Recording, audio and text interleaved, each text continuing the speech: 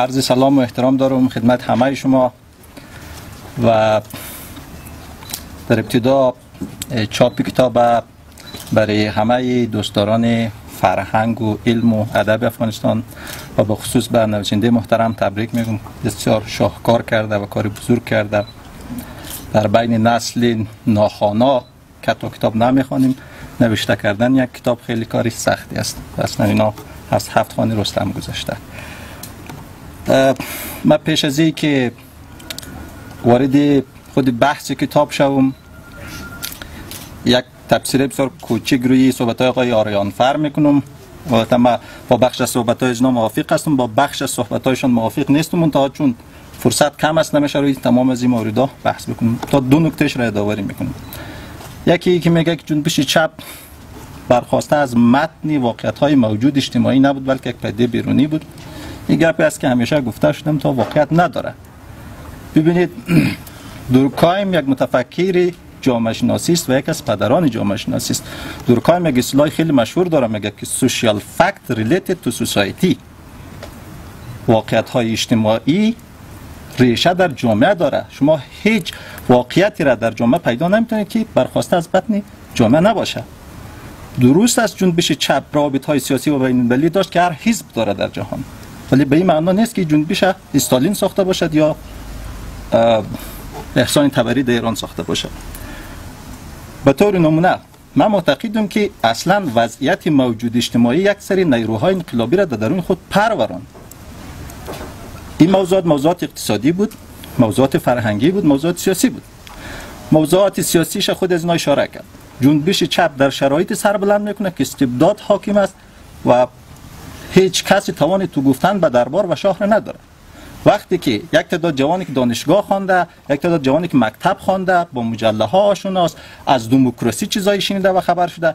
اینا خبر میشه که جهان در جهان چه وضعیت حاکم است و در افغانستان چه حاکم است این وضعیت اینا نمیپذیرن و همچنان که در قریه ها میره جوانی که دانشگاه خوانده پوهنتون خوانده می‌بینه که در اینجا خان و ملاک و فودال حاکم این وضعیت روستایی جوان افغانستان نمیپذیرن جوانی که فلسفه خوانده دانشگاه خوانده وقتی که می‌بینه که در جامعه به جای عقل و علم و خرد خرافات حاکمه این وضعیت نمیپذیره. چی در خوست میره چی در بدخشان میره چی در جای دیگه میره.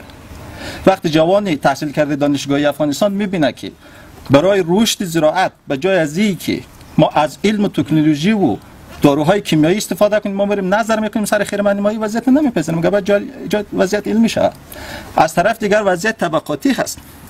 در این کتاب هم بحث شده. در افغانستان چنانچه ببرک کارمل هم در یک از خواندرانی خود در یک از نوشتهای خود ذکر می‌کنه. 60 فیصد زمین افغانستان در اختیار 6 فیصد از مردم های افغانستان است. وقتی که جوان تحصیل کرده و دختر تحصیل کرده و چه تحصیل کرده افغانستان وضعیت می‌بینن نمیپذیرن. اینا میگن نیاز به یک جنبش اجتماعی است. من خدمت اینا عرض بکنم پیش از که اینا روابط سیاسی با ایران ایجاد بکنه یا با روسیه ایجاد بکنه در درون افغانستان اینا نیروهای محترز است. سلیمان لایق از مدرسه اخراج میشه به خاطر احتراز است. وارد پاهنتون میشه از پاهنتون اخراج میشه. به خاطر احترازش است. بحرالدین باعث از بدخشان میه میره در دانشکده شرعیات احتراز می‌کنه از دانشگاه اخراج میشه. ببرگ کارمل از دانشگاه اخراج میشه زندانی میشه حتی کارمل میگه در دانشگاه در زندان سوسیالیسم فرا گرفت. میگه ببرگ کارمل با میرکبر خیبر آشنا شد و اونجا با سوسیالیسم آشنایی پیدا کرد. بعد هم خود میرکبر خیبر یک آدمی است که کادمی نظامی خوانده هیچ جرمی مرتکب نشده. اسلحه گرفته علیه دولت استاد نشده. نشریت تاسیس نکرده. اما روزی که قرار است شهادت نامه محصلین فاروق تحصیل دانشگاه را توضیح بکنه چی کیره نمیده؟ شهادت نامه مرکبر خیبر نمیده. و هیچ جان نمیپذیره وضعیت. نور محمد ترکی خودش کارمند دولت است در واشنگتن است. یک مقاله در واشنگتن پست می نویسه از دولت شاهی اعتراض می‌کنه انتقاد می‌کنه به خاطر از سفارت اخراج میشه. همین رقم هم تیم دیگر هم ذکر بکنیم. پس نمی جوانایی که از یک طرف جهان دیده از یک طرف دانشگاه خوانده از یک طرف وضعیت بدی افغانستان می‌بینه اینا میگه ما باید یک راه برای پیدا بکنیم. پس در نتیجه جنبش چپ محصول دردها و رنجهایی هست که در داخل افغانستان. و فعلا هم هست. یک مورد که باز هم گپی ما تاکید می‌کنیم که از نظر جامعه شناسی سوشال فکت ریلیتد تو سوسایتی یک مورد مورد دوم اینا میگن که جنبش چپ فعلا در جهان کارش تمام شده. من فکر می‌کنم واقعیت نداره. همسایه ما چین. یک کشور کمونیستی است. ما در هندوستان تحصیل کردیم. در هندوستان 700 حزب است. حزب بی جی پی اول است. حزب کنگره دوم است و حزب کمونیست حزب سوم است. در خود آمریکا برنی کاندید بود و رادیکال و می‌گفت ما سوسیالیست هستم. 40 فیصد مردم طرفدار حزب دموکرات به یادم رای داده بود. در انگلیس دو تا حزب است. یکی حزب conservative محافظ حزب محافظه کار است و یکی حزب چی؟ کارگر. حزب کارگر حزب سوسیالیستی چپ است. در نروژ در سوئد در فنلند در دانمارک احزاب چپ فعلا حکومت می‌کنه سوسیال دموکرات اینا. در خود آلمان حزب سوسیال دموکرات حزب چپ حزب دوم است. در کره شمالی در چی؟ در کوبا در بسیار از کشورهای آفریقایی در, در ویتنام در سریلانکا در بسیار جا فعلا ما احزاب چپ داریم اینا در قدرتن.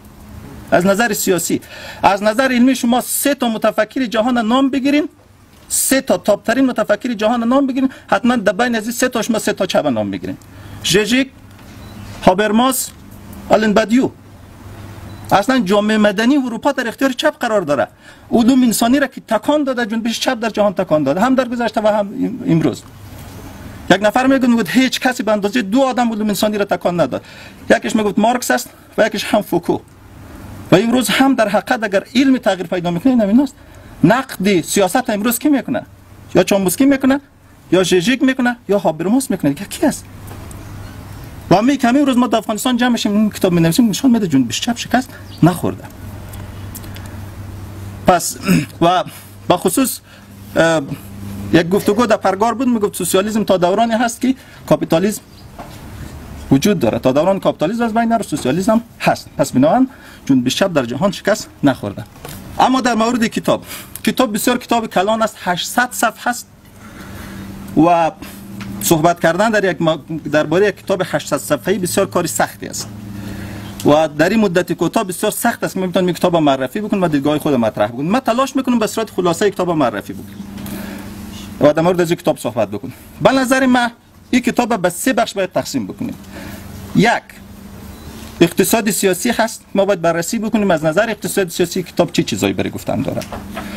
دومین موضوعی را که خود نویسنده هم یاد کرده تاریخ نگاری به مدد نشریات چپ است. ما را بررسی کنیم. نشریات چپ افغانستان که از کجا اینا آغاز کرد؟ چه کارهایی را اینا کرد؟ خواست از اینا چی بود؟ دیدگاه از اینا چی بود؟ این دو مورد. مورد سوم به نظر من بخش بسیار مهم کتاب است. موضوع چی باید کرد است؟ نویسنده در آخر کتاب یک طرح جامعه سوسیالیستی را می‌کنه. ما سر از بحث بکنیم که جامعه سوسیالیستی را که نویسنده طرح کرده عیبش کجاست؟ نقاط قوتش کجاست؟ خود نویسنده میگه میگه ای کامل نیست. ما را مطرح کردیم نیاز به بحث بیشتر داره. ما رو از این بررسی بکنیم که امی جامعه سوسیالیستی که مطرح کرده نقاط مثبتش کجاست ما نقاط ضعفش کجاست؟ خب در مورد اقتصاد سیاسی از نظر اقتصادی برای جنبش چپ و در اقتصاد سیاسی بحث انباشت سرمایه و بحث سرمایه مالی بسیار اهمیت داره. نویسنده تلاش کرده در آغاز نشان بده که سرمایه مالی در افغانستان شکل گرفته. و چیزی را که نام مطرح کردن و بود که میگه سوسیالیسم باید نباید در دل یک جامعه فئودالی شکل بگیره. باید تضاد طبقاتی وجود داشته باشه. و نویسنده در حقیقت این موضوع رو پاسخ داده در این کتاب. نویسنده تلاش کرده که با طرح اقتصادی سیاسی و با تشریح دوره ها و نقشه که دولت داشته شرکت های خصوصی داشته به این موضوع پاسخ بگستن پاسخ از این موضوع در کتاب هست. من فکر می‌کنم که استاد نیاز به داره که یک بار کتاب باز هم یک مرور بفرمایید خب در بخش اقتصاد سیاسی نویسنده از دوران نادرشاه شروع می‌کنه از سال 1308 است. در این دوره میگه که در افغانستان شرکت سازی و فابریکه سازی آغاز شد که بحث بسیار مهم در اقتصاد سیاسی هست. شرکت های زیادی در این دوره ساخته میشه تاسیس میشه که مثل شرکت های شرکت نجاری است شرکت صابون سازی است جوراب بافی هست و شرکت های دیگه و در امی دوره که از نظر اقتصادی خیلی مهم است بانک تاسیس میشه. و موضوع دیگه یک نویسنده مطرح کرده شرکت های تعاونی در دوره شکل می‌گیره. و تمام از این موضوعات در بحث اقتصاد سیاسی بسیار مهم است. نویسنده تلاش کرده همه موضوعات تشریح بکنه آمار ارائه بکنه با ذکر تاریخ موضوعات یاد بکنه. در این دوره در افغانستان خصوصی سازی شروع میشه. دولت علنا شرکت های را که دولتی اینا را به بخش های خصوصی میسپارند و این دوره از سال 1308 تا سال 1330 ادامه پیدا می‌کنه. نویسنده تا سال 1330 مو به مو وضعیت شرح میده. آمار و ارقام را می‌کنه تاریخ ذکر می‌کنه.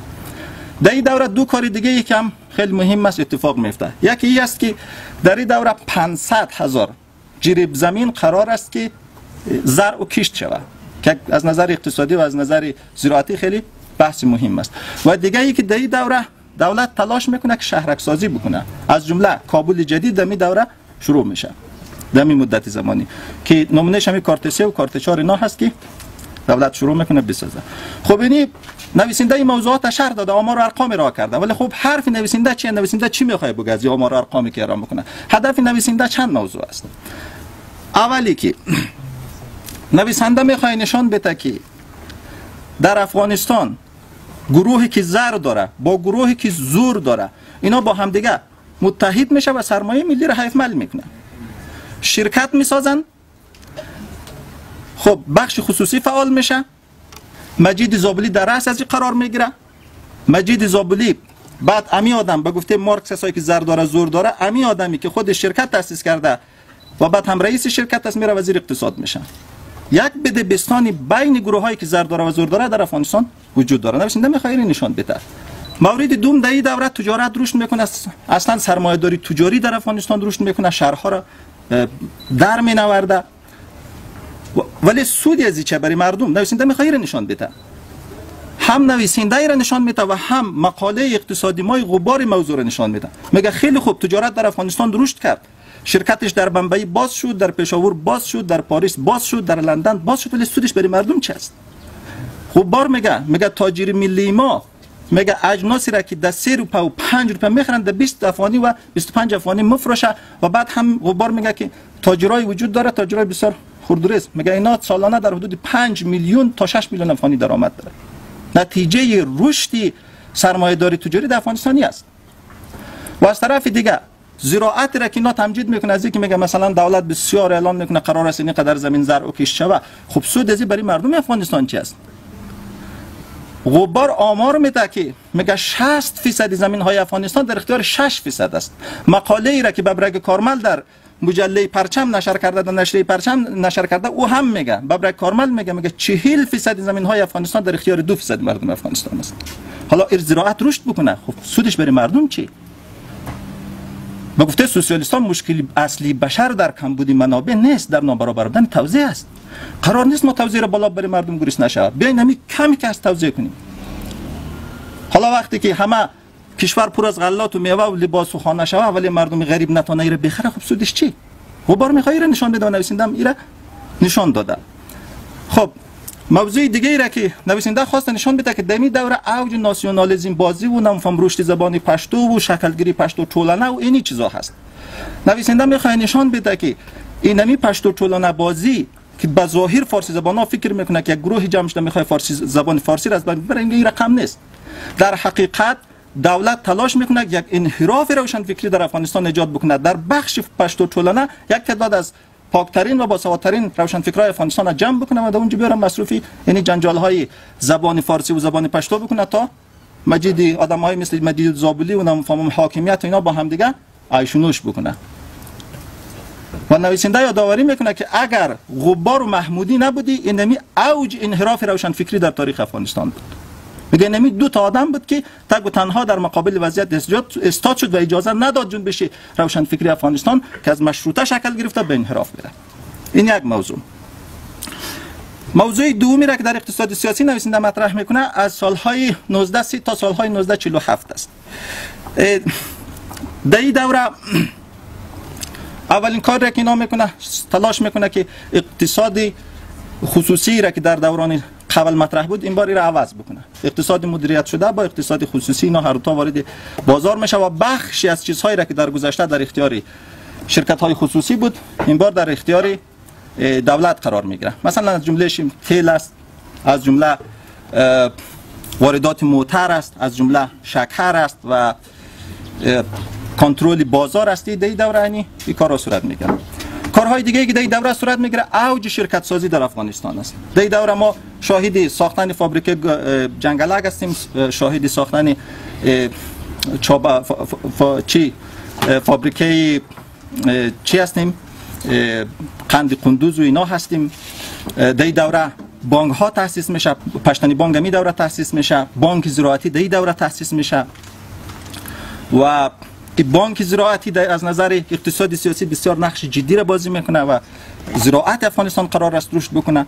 خب این کارهایی هست که در دوره صورت می‌گیره. و مهمتر از همه در این دوره مالیات به صورت مدرن تر مطرح میشن دولت سرشماری می‌کنه. دولت میره سرشماری می‌کنه که میگه در حدود 16 میلیون معاشی در افغانستان هست. بعد میگه که در حدود 9.5 میلیون جریب زمین در افغانستان هست.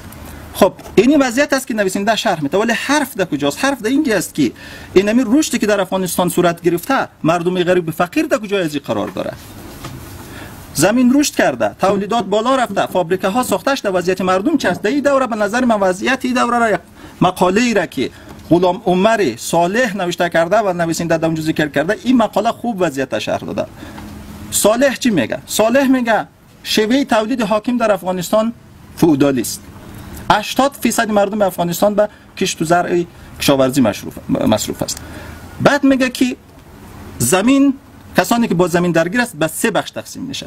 یک زمینداران بزرگ است که بخش اعظمی زمین های افغانستان در اختیار داره. گفتم که کی میگه؟ ببر کارمل میگه که 40 فیصد زمین افغانستان در اختیار دو فیصد است.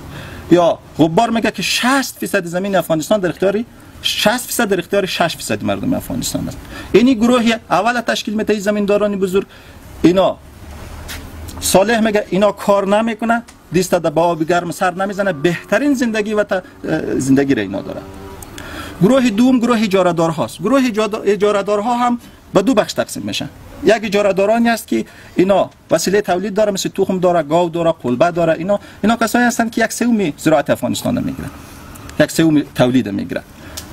گروه سوم کسانی هست که هیچی نداره به جز نیروی کارش دیگه چیز در بری ارزه نداره. وقتی که اینا میره با صاحب زمین وارد معامله میشه سر اینا چی میه ده تقسیم میشه محصولات. از ده قسمت یک قسمتش به دهقان غریب داده میشه. پس شما باز فکر می‌کنید جنبش چپ نیاز نبوده کشور شکل بگیره و با فودال و خان و زمیندار درگیر شود؟ شما فکر می‌کنید استالین جنبش چپ در افغانستان شکل داد یا این وضعیت؟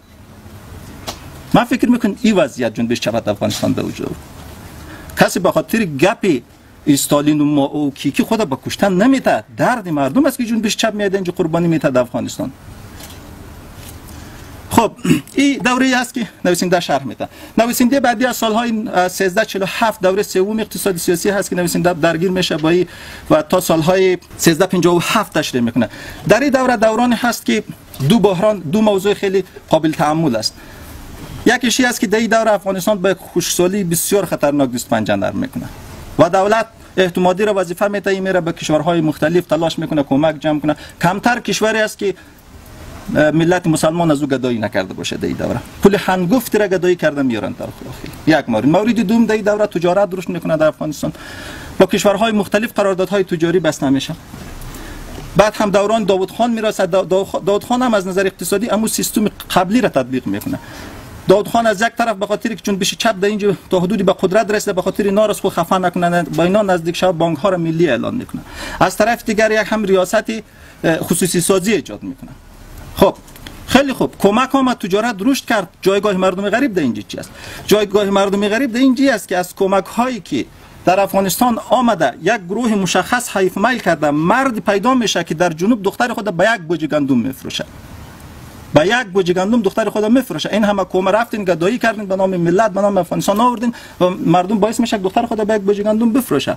آیا باز هم شما فکر می‌کنید جنبش این درد هاش شکل داد یا که ایرا از ایران فلان شیخ و از روسیه فلان نکتایدار جنبش چپ افغانستان ایجاد کرد؟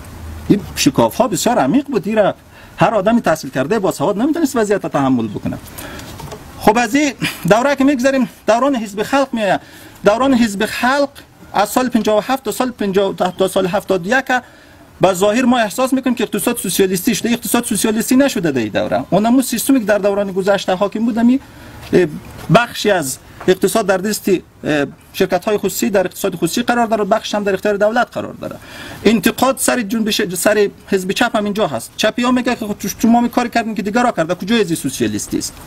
راستی ها میگه که نه شما کافر هستین نمیفهم می‌خواین اقتصاد سوسیالیستی کنین. حزب چپ حزب خلق هم وضعیت درک کرده بود. می‌فهمید که کاملا یک اقتصاد سوسیالیستی دولت متمرکز اینجا پاسخ نمیده و اینا کار کرده بود که اونو تاکیدشان به سه موضوع بود. یکی بخش دولتی بود یکی بخش خصوصی بود و یکی حمایت هم از بخش کوپراتیفی بود. و در کل سیاست حزب خلق سه موضوع در افغانستان چی میته تشکیل میته یک بخشش اصلاحات ارزی است که بسیار بحث مهم است و تا هنوز هم خود نویسندم به این باور است. من به این باور هستم تا هنوز این بحث در افغانستان مطرح. اصلاحات ارزی. زمین ها باید تقسیم شود. یک بخش از سیاست حزب خلق می تشکیل میده یک بخش هم مسئله سواد آموزی است و مسئله سومش هم توسعه دولت است. تمام جنجال حزب خلق به نمیسه موضوع سپری میشن خب در بحث دولتداری خب اون کارای را کردم در بحث اصلاحات ارزی نویسنده تمام اسناد مو به مو جز به جز شرح میته ارائه می‌کنه که اصلاحات ارزی در افغانستان چگونه تطبیق شد. ما در جای دیگه هم خواندیم که در اصلاحات ارزی حزب خلق در حدود دو میلیون و 800 هزار زمین به دهقان ها توزیع کرد. به 248 هزار خانواده توزیع کرد اصلاحات ارزی را. هر کسی که سی جریب زمینی آبی و 40 فیصد زمینی دایمه داشت اونم رو خودش می‌گرفت از او بالاترش را دولت می‌گرفت و با آدم های به زمین توزیع می‌کرد که گام بسیار خوب بود به نظر من. حتی از نظر اسلامی هم ما در سوره بقره داریم که میگه که زمین از آن خداوند است و وقت از آن خداوند است. خب بیاین ما بنده هاشیم همه با مساویانه هم از امکانات خداوند استفاده کنیم. مولانا میگه که در حقیقت مالک هر شی خداست این نمانه چند روز نزد ماست. خب رقم خوب نیست آقای فودال فلان شما برین تمام امکانات کشور بگیرین در, اختیار خود. منتها حزب خلق موضوع را درک کرده که تطبیق از این کار کار ساده ای نیست. بعض دوستای ما میگن که حزب خلق وضعیت جامعه افغانستان را درک نکرد. خوب درک کرده بودینا اکرم یاری مقاله‌ای داره در این مورد شرح داده. ببرگ کارمل نور محمد ترکی نوشتای داره که وضعیت دهقان ها را شرح داده. یاری در یک جا میگن که میگه ما توقع یک انقلاب کمونیستی و سوسیالیستی را از کارگرای افغانستان نداشته باشیم به خاطر که مگه در اینجا به خاطر مشکلاتی که بود تا هنوز کار... کارگرای افغانستان حتی توانی یک مبارزات صنفی را نداره. و بعد هم دهقان خود یاری میگم میگه که دهقان از نظر پایگاه اقتصادی با سوسیالیست ها هست ولی از نظر فکری در اختیار ارتجاع قرار دارد. دو ارتجاع یک ملاها و یک هم در اختیار ارتجاع اونو رهبرای قومی. حزب خلق هم موضوع را فهمیدن. پس حزب خلق راه حلش چی بود؟ راه حلش بود که زمین توزیع کنیم و بعد هم خوراک مغزی را در افغانستان تولید کنیم که باعث شد دهقان این زمین بپذیره. او راهش چی بود؟ گسترش کورس سواد آموزی بود. اینا تلاش کرد که با اینمی کورس های سواد آموزی در حقیقت اینمی توزیع زمین سوسیالیسم برای دهقان ها توجیه کنه. بعضی دوستا میگن اینا کار نکرد کار کرد. و بر اساس خاطرات که کشمن در خاطراتش می نویسه سالهای 1982 میگه 120 هزار کور سوادآموزی در افغانستان فعال بود. هدف از اینا جز این توجیه کارهای خود از اینا چیز دیگه ای نبود در این دوره. منتها خب به حال عوامل زیادی بود که پلان های از اینا موفق نشد. نویسنده نگاهش انتقادی است به حزب خلق نویسنده چی میگه؟ نویسنده به خاطر نقد حزب خلق میره از گذشته های دور موضوع زمین مطرح می‌کنه. حتی میره در دوران مغول بررسی می‌کنه بعد هم دوران احمد شاه میایه و بعد هم مرقم میایه پس آنها انواع و اقسام زمین و اینا رو بررسی می‌کنه بسیار مشکافانه بررسی کرده و بعد هم نتیجه گیری می‌کنه. میگه ما انواع مالکیت در افغانستان داریم. میگه یک مالکیت مالکیت قبیلوی است که تا هنوز در افغانستان کسی روش فکر نکرده. این مالکیت قبیلوی در قسمت های شرق افغانستان فعال است. دیگه مالکیت مالکیت فئودالی که در شمال است در جنوب است و در غرب افغانستان حاکم است. دیگه مالکیت مالکیت تجاری هست. سرمایه‌داران تجاری در افغانستان فعال است. نویسنده انواع و اقسام مالکیت در افغانستان شرح میده و بعد حزب خلق نقد می‌کنه. میگه حزب خلق میگه حتی اقداماتی را که کرد البته خودش تمجید می‌کنه. میگه تا یک موضوع خیلی خوب است. از سه تا فرمان نویسنده بالایی که بسیار مشروعیت از اینا را بحث می‌کنه نقد می‌کنه رد می‌کنه و بعد هم موضوع ارتش در اینا بحث می‌کنه نقد می‌کنه. بسیار با حزب خلق نویسنده درگیر شده. نگاهش انتقادی است. در بعضی جا بخصوص از سه تا فرمان از اینا حمایت می‌کنه. یکی از فرمان ملق و گله خب بسیار وقتش می فرمان خوب فرمان بود. ولی همه بچه ها پیر شده دخترها پیر شده. گله نمیمونه ازدواج کنن. ترکی میره خوب گفت گفت اونم چیزی که شرم میگه اونم رو بگیرین بیشتر از او بگیرین پشت سرتون می‌کنن و ببینی خوب بود. نویسنده هم تا حدود را با اینا هم نوایی داره. دیگه طرح چی را اینا؟ طرح اصلاحات ارزی را تا حدود حمایت می‌کنن. لغو سود و سلام خیلی کار خوبی بود. آمارها نشان میده که در افغانستان بخش از دهقانهای خردوری زمینهای خود به فودالها به زمیندارهای بزرگ از دست داده. پول قرض می‌گیره پول قرضی را سری سود. سود داده نمی‌تونه کم کم زمین ها میره. در این جینی فرمان ها خوب است. نویسنده تا حدود را هم نوایی داره. ولی در قسمت اصلاحات ارزی نویسنده در قسمت مشروعیت در قسمت بخش کودتا یا انقلاب هر چه رو بگذارین حالا جنجال نشه. در این قسمت ها نویسنده نقد می‌کنه حزب خلق. از جمله موضوع فودالیسم نقد می‌کنه. میگه فودالیسمی که اینا مطرح کرد حتی میگه به خود مارکس سازگاری نداشت.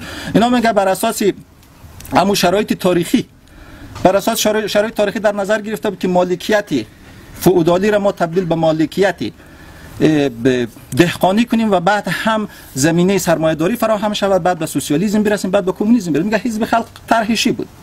بعد میگه که این طرح مشکل داشت. اولی بود که مارکس می‌گفت که وقتی پرولتاریا قدرت به دست می‌گیرید میگه با دهقان با خشونت برخورد نکنین. چکوش گرفته به سر دهقان نزنین. میگه که در حقیقت شما کاری کنین که اینمی عبور از مالکیت فئودالی و مالکیت جمعی میگه مسالمت آمیز باشه. میگه حزب خلقی را ناکام بود موفق نبود. بعد هم نویسنده میگه که حتی مارکس در, در جای دیگه میگم که ما تلاش نکنیم اقتصادی دهقانی خردپا متوسط رشد بکنه به خاطر که اگه رشد بکنه در حقیقت ما به مسازی با کنین رقصیدیم. مارکس میگه ایرم رد می‌کنه. در حقیقت نویسنده حزب خلق اصلاحات ارزی را با اینکه خودش میگه مسئله اصلاحات ارزی تا در افغانستان به عنوان یک بحث مطرح هست ولی با هم نگاهش منتقدانه است. حزب خلق تا دوران چی را دوام می‌کنه؟ رد پای اقتصادی حزب خلق تا دوران نجیب نویسنده دنبال می‌کنه و میگه که آخرین روزها در قانون اساسی جدید نجیب هم به نحوی بازار آزاد پذیرفته بود. خب حرف نویسنده چی است؟ نویسنده چهار اقتصاد سیاسی را شرح میده. دو هدف داره نویسنده. یک هدفش همیست به او کسایی که میگه حزب جنبش چپ در افغانستان آهن سرد میکوبید به این معنا که ایجاد یک جامعه سوسیالیستی برابرانه در دل یک مناسبات سنتی و فئودالی امکان پذیر نبود نویسنده می‌خواد اینمی را پاسخ بده. می‌خواد نشان بده که در افغانستان سرمایه داری رشد کرده. توجه شدین؟ یک هدف نویسنده است. که میره نشان و از نظر اقتصادی سیاسی نمی که سرمایه مالی شکل گرفته سرمایه مالی تبدیل به سرمایه صنعتی میشه و مهمتر از هم از دیدگاه مارکس اقتصاد سیاسی چرخش پول است تجارت است. در افغانستان نمی کار صورت گرفته. پس نویسنده میگه که ما در مرحله قرار داریم در یک در افغانستان یک جامعه سوسیالیستی اعمار شود و ساخته شود. این یک حرف نویسنده است یک هدف نویسنده. هدف دومی نویسنده ای است که در تمام نمی شرح وضعیت اقتصادی افغانستان فاصله طبقاتی و وضعیت مردم غریب نشان بده که من ذکر کردم. وضعیتی که هم در بدخشان و هم در جنوب. مردم مجبور میشه دختر خود به یک بوجی گندم بفروشه یک طرف یک طرف دیگه است که اونو کی است؟ سرمایه‌دارای هست که نویسنده از اونام یاد کرد. از جمله یک مقاله غبار داره که غبار میگه من در قطغن رفتم یک نفری است که به نظرم حمید نام مجید نام داره. این مجید میگه 80 نفر خدمت داره. این مسئول گمرکات است. 80 نفر خدمت داره. میگه به حدی یا خانه مجلل ساخته که میگه تو او قصرهای افسانه‌ای بغداد فراموش می‌کنی. از یک طرفی آدم قرار داره و از طرف دیگه اون نفر باعث میشه که زمین های خود دختر خود د چی بفروشه. یعنی دو تا هدف نویسنده در چی است؟ در طرح موضوع اقتصاد سیاسی. موضوع دومی را که نویسنده مطرح کرده تاریخ نگاری جنبش چپ در افغانستان است. خب نویسنده با گفته آقای آریانفر از اول شروع می‌کنه که اون موضوع مقاله حمید شروع می‌کنه که در اونجا وضعیت کارگر کودک فقیر شهر داده و بعد هم می‌رسه به ندای خلق. ندای خلق اولین نشریه است که چی؟ انگار. سال 1929 انگار تاسیس میشه و در انگار چند قلم بدیس بسیار خوب نوشته می‌کنه. یک از اینا کیان یک از اینا نور محمد ترکیست یک از اینا کسی به نام صافیست محمودی هم نوشتایی را در اینجا داره ماگر رحمانی هم نوشتایی را در این بخش داره و خب در کل متاسفانه بعد از مدتی انگار هم متوقف میشه و توقیف میشه توسط دولت خب در این دوره اینا چی میگن اولین کار از اینا نقد جامعه نقد وضعیت موجود است اصلا نقد در افغانستان با جنبش چپ وارد شد هیچ گروهی به جز جنبش چپ در افغانستان نه استعداد نقد داشت و نه توانایی نقد داشت. اصلا نقد با جنبش چپ وارد افغانستان شد. اینا آمد اولین بار به نقد وضعیت موجود پرداخت. نقد می‌کنه. چی چی را نقد می‌کنه؟ یک وضعیت کارگرا را نقد می‌کنه. از جمله کسی به نام صافی است. صافی میگه میگه ما رفتم در اسپین بولدک کارگرانی را دیدیم که این کارگرا شب گرسنه مانده بود. نور محمد ترکی مقاله زیادی در اینجا داره. ترکی میگه من در غزنی رفتم و بعد هم در سرکاری رفتم کارگرا را دیدم که کارگرا را دیدم نان خشک میخوردن و این کارگرا شکوه کرد که اینمی دولت گوتمی اسکرا سر ما در زور از اطراف گوشت و روغن و نان می‌خرن خودشون گوشت می‌خوره و ما هم نان خشک می‌خوریم. اولین کار نقدی وضعیت موجود است اینا. نقد دیگه ای را که اینا می‌کنه بر انتخابات است. میگه در افغانستان انتخابات باید شفاف باشه. میگه ولی در جنوب اینا ذکر می‌کنه مشخصا میگه در جنوب. میگه انتخابات در اونجا بر اساس نوبت قومی است. میگه در این دوره وکیل از فلان قبیله میره در سال دیگه از فلان خیل میره. این رقم میگه این رقم اینی انتخابات باید به صورت شفافانه برگزار شود. دیگر نقدی از اینا رشوه خوری است. نقد می‌کنه میگه دولت فاسد است رشوه می‌خوره. و بعد هم میگه که دولت با خصوص در روستاها و اطراف با مردم بد رفتاری می‌کنه مردم لدو کوب می‌کنه اینی اعتراضات اینا داره علیه سانسور علیه بیکاری اینا اعتراض می‌کنه. بعد هم اینا خواست دارن خواست های از اینا چی است خواست های از اینا اولین خواست چیست؟ آموزش پرورش برای همه. میگه دولت باید برای همه زمینه آموزش پرورش فراهم کنه. خواست دیگه از اینا بسیار خواست های معقول است ولی می خواست های معقول در روزمان وقتی تو مطرح می‌کردی باید سرت از دست می‌دادی. خواستایشی است که آزادی بیان آزادی عقیده آزادی مطبوعات انتخابات تشکیل احزاب سیاسی خاص از اینا نمی چیزاست. میگه دولت ما می‌خوایم این چیزا بر... باید در افغانستان پذیرفته شود؟ و به می به می که ما امروز فکر خیلی معقول است. مطرح کردن از کار خیلی سختی بود به خاطری که در افغانستان در دوران مشروطیت به خاطر می خواست ها مشروطه ها سری توپ بالا شدن. و دیگه اینا میگه که دموکراسی می‌خوایم ما انتخابات شفاف می‌خوایم ما شایسته سالاری می‌خوایم. میگه مسئولین دولت بر اساس شایسته سالاری انتخاب نشه یعنی موضوعاتی است که اینا مطرح می‌کنن. نفی تبعیضات قومی قبیلوی است اعتراضات از اینا. موضوع دیگه یک می خب این به صورت کوتاه همین مطرح کن به خاطر فکر میکن وقت کم است. خب موضوع دوم دوران ندای خلق محمودی است. در ندای خلق محمودی در نشریه ندای خلق دو چیز اینجا برجسته است. اولین برجستگی است که برخلاف انگار محمودی و ندای خلق مخاطبش مردم است نه دولت. برخلاف که در اونجا بیشتر دولت خطاب قرار می‌داد اینجا مردم خطاب قرار میده میگه مردم اگر دولت با شما بدی کرد اگر حق شما تلف شد از مسئولین پایین به مسئولین بالا شکایت کنید. در نشریه می نویسند اگر این کار هم نشد ما را در جریان قرار بدید ما در نشریه خود موضوع را پخش و نشر کنیم. دیگه ای میگه که مردم میگه میگه حق آزادی اندیشه آزادی مطبوعات آزادی احزاب سیاسی آزادی انتخابات میگه. نمی چیزا میگه؟ جز حق مشروع مردم است. این یک گام بسیار بزرگ است که در این جنبش چپ مثلا به جایی که مردم دولت مخاطب قرار بدن مردم مخاطب قرار میده. می‌خوام مردم آگاه شود موضوع دوم به نظر من در جنبش چپ خیلی مهم است. ادبیاتی است که در دوره ظهور می‌کنه. اولین بار است که محمودی از استثمار سخن میگه. میگه یک از اهداف ندای خلق نمی است که با کسانی که مردم استثمار می‌کنه مبارزه بکنه. و دیگه ای که میگم که وضعیت کارگرا بهبود پیدا کنه قانونی برای کارگرا ساخته شود حق بیمه برای کارگرا داده شود حقوق بازنشستگی برای کارگرا داده شود نقد های خطرناک و ایران بنیاد برافکن هم داره که من فکر می‌کنم وقت نیست من اینا رو شرح بدم. از جمله اینا به حد رادیکال و تون حرکت می‌کنه که در جای اینا میگه که کسی به نام نسیان مقاله غلام علی نسیان او مقاله می نویسه که میگه اینمی خواست های ما این بهبود وضعیت نفی تبعیض در افغانستان با این دولت امکان پذیر نیست. و این بسیار این سخن دو دوره بسیار های خطرناک و این باعث میشه که نویسنده مستقیم زندان تشریف ببره. و جریمه مالی هم وضع شود. دیگه خواستای محمودی داره بسیار خواستای انسانی است. میگه ما دموکراسی می‌خوایم یک عدالت اجتماعی می‌خوایم دو حقوق بشر می‌خوایم سه. یعنی خواستهایی هست که در اینجا اینا مطرح می‌کنه. خب بعد از این ما می‌رسیم به دوران کی می‌رسیم؟ به دوران نشریه خلق پرچم می‌رسیم. سالی 1345 نشریه خلق ظهور می‌کنه و سال 1946 نشریه پرچم ظهور می‌کنه. من به صورت کوتاه این دو تا نشریه محتوایش را یک جا تشریح می‌کنم. خب در این اول چند تا از بهترین نویسنده ها و پاکترین افرادی که ما در افغانستان داشتیم اینجا می قلم میزن یکیش همین طاهر بدخشی است. کسای دیگه که اینجا نوشته کرده میر اکبر خیبر از چند مقاله میر اکبر خیبر داره که وضعیت بین المللی را تشریح کرده. چنانچه خود ایشان هم فرمود که در دوره مردم از وضعیت خبر نداشت. در دورانی که مردم از وضعیت خبر نداشت میر اکبر خیبر قلم می‌گیره و بعد هم بانک بین المللی و استعمار جدید نقد می‌کنه در اینجا. و دیگه کسای دیگه که اینجا نوشته کرده اناه تا راتبزاد نوشته کرده ببرگ کارمل نوشته کرده یعنی نویسنده هست که اینجا قلم زده. خب گپ از اینا چی است؟ اولین گپ از اینا نقد وضعیتی موجود است. دولت فاسد است رشوت زیاد است. بعد هم تحلیل وضعیت طبقاتی ارائه می‌کنه. از جمله ببرک کارمل مقاله ای داره که وضعیت زمین در افغانستان شرح میده. مو به مو جز به جز شرح میده که یعنی زمین در افغانستان در اختیار یک عده محدود قرار داره. مقاله دیگه در مورد وضعیت کارگرا میراکبر خیبر داره که در اونجا میگه که مردم در افغانستان گرسنه مانده. ما خبر شدیم در فلان جای مردم گرسنه مانده ولی یک تعداد محدود تاجرا غله را احتکار کرده. انتقاد می‌کنه اینا مقاله دیگه ای را با کی داره؟ کشتمن داره که خیلی مقاله جدی است من نظر ما و حتی من معتقد هستم که نمیم روز در حدود 60 سال ما با محمودی و غبار اینا فاصله داریم. این نمیم روز نشریه های از ما به اندازه مناز نظر محتوای قوی نیست.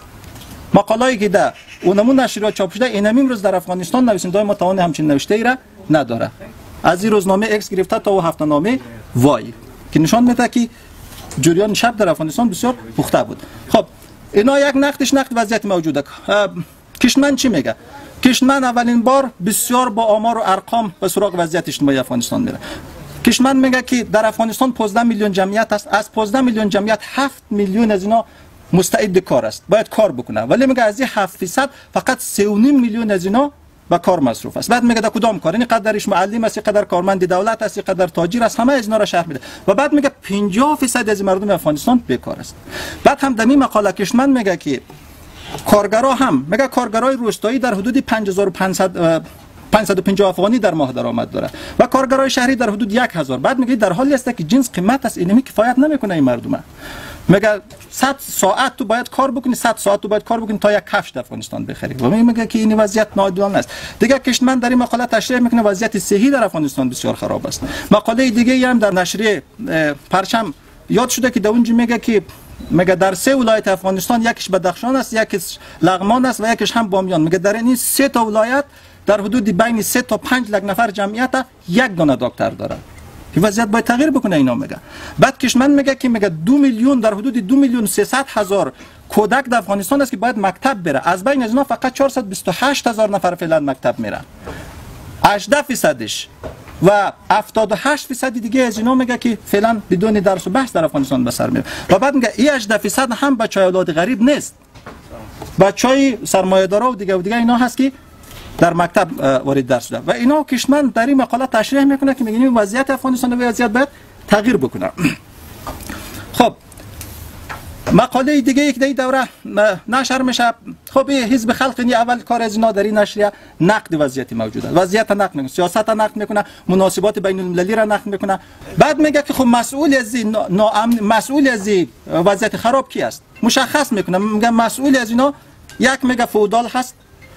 دو میگه نیروهای ارتجاع هست سه میگه بروکرات ها هست کسانی در دولت اینا کار و چهار هم میگه تاجرا هست. این اینا میگه به عنوان دشمنان خلق در افغانستان. این اینا با اینا باید تصفیه حساب شد در بخش بین المللی هم اینا میگه که خب دو گروه فعلا با مردم افغانستان مشکل داره. یک استعمار است و یک هم امپریالیسم است. خب اینا مشخص اول وضعیت نقد می‌کنه و بعد هم نیروهایی که عاملی از این بدبختی سینا رو تشریح می‌کنه بعد میگه راه حل چی است؟ راه حل از اینا ایجاد چه مبارزات پارلمانی است. تشکیل جبهه متحد ملی. در این جبهه میگه که میگه کارگرا باشه دهقان باشه بعد هم خورده برجا باشه روشن فکرها باشه. منتها میگه رهبری ای جنبش باید نیروهای چپ به نمایندگی حزبی به نمایندگی طبقه کارگر باید اختیار بگیره خب بینی خواستایی است که اینا داره. و بسیار عمیق کار می‌کنه از جمله یک از مقالاتی را که بدخشی نوشته کرده امی اصطلاحاتی را که استفاده می‌کنه تشریح می‌کنه. اینمی مقاله در حقیقت دمو اسکلت تفکری چپ بیان کرده. بر اساس ماتریالیسم تاریخی شکلگیری طبقات تناقضات طبقاتی اینا را بدخشی تشریح می‌کنه. بعد دمو اصطلاحاتی را که اینا در نوشته های خود استفاده می‌کنه اینا را تشریح می‌کنه. مثلا کمپرادور کی است تضاد طبقاتی چی است حزب خلق چی است اینا را تشریح می‌کنه.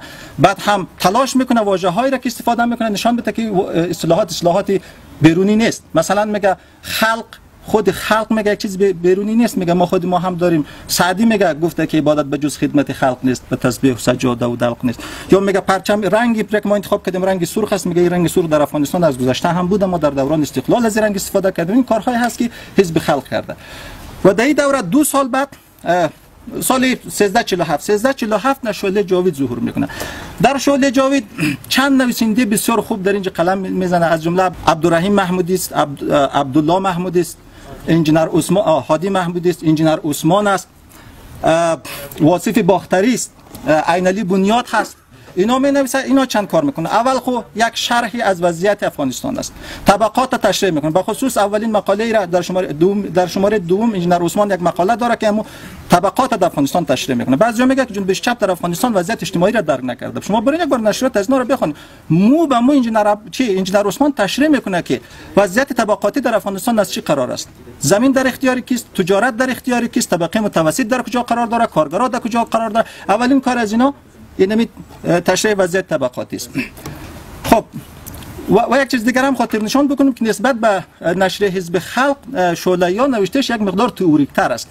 و خصوص سه تا مقاله را که در اینجا نشر شده یکیش در مورد انباش سرمایه است یکیش در مورد استثمار است یکیش در مورد ارزش است. این سه تا مقاله بسیار مقاله جدی است. و بعض جایی که میگه میگه جنبش چپ در افغانستان مارکس نمی‌فهمید و نمیفهم از حزب توده چند تا کپی گرفته بر این سه تا مقاله را بخونه. این سه تا مقاله مستقیم بر اساس کتاب کاپیتال مارکس نوشته شده.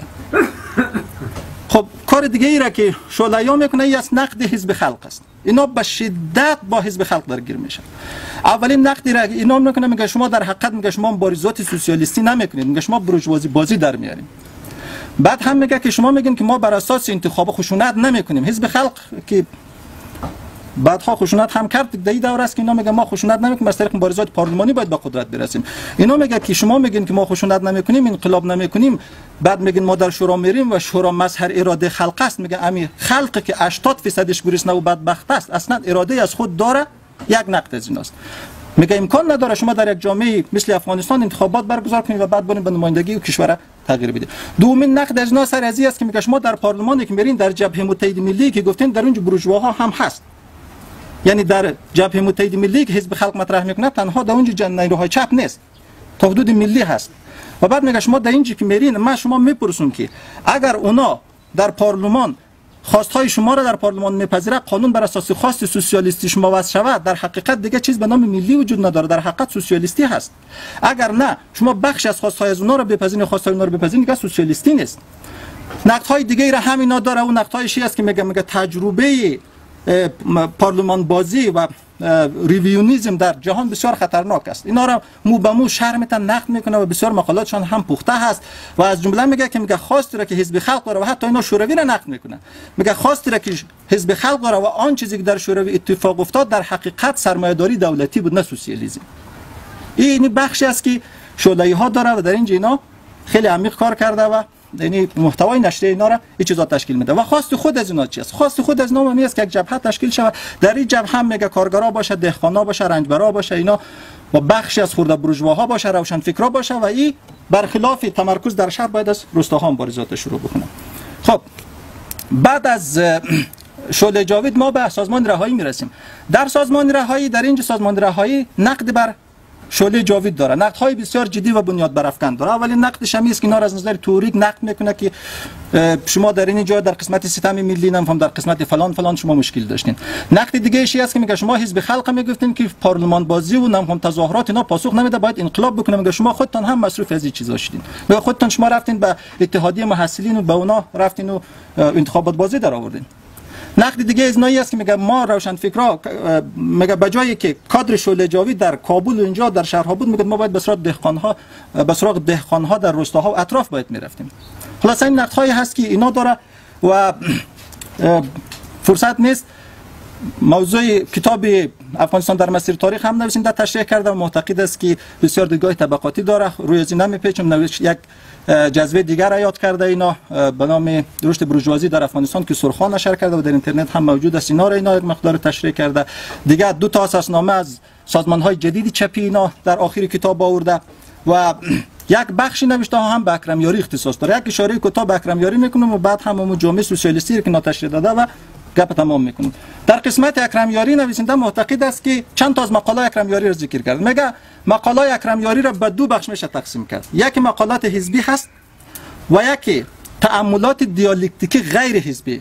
بخش از نوشته های اکرم یاری را نویسنده تأملات دیالکتیکی غیر حزبی نام مانده. نویسنده معتقد است که برای فهم مارکس و مارکسیزم ما باید به ایدئالیسم آلمانی پناه ببریم و هگل باید بفهمیم. بعد میگه که اکرم یاری میگه اینجا یک آغاز است.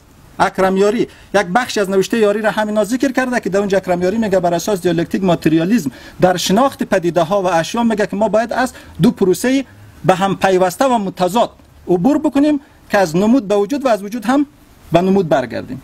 بعد این میره آغازی ورود به بحث هگل و ایدئالیسم آلمانی نویسنده می‌گیره بعد میره سراغ کان بعد میره سراغ هگل بعد هم میره سراغ لینین. اینا را تشریح می‌کنه و در نتیجه مو مقاله غرض اکرم یاری را تشریح می‌کنه که نشان میده که مو به مو اینمی نوشته بر اساس ماتریالیسم دیالکتیک نوشته شده خب یک بخش هم نوشته های غیر حزبی یاری است که از جمله مسئله انقلاب انقلاب مسئله ملی هست.